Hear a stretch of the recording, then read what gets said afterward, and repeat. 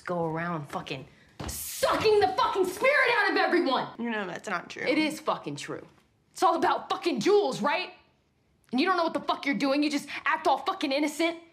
Like you're just fucking sweet little angel, this innocent, sweet little fucking angel who doesn't know what the fuck they're doing. You know what the fuck you're doing! I love you. No, the fuck you don't. You love being loved. You're a fucking greedy whore who just likes sucking the life out of people. And it fucking hurts, Jules! I love you. No, you don't. Stop saying that! You don't love me! You fucking left me when I fucking needed you. You fucking left me when I was at my fucking lo-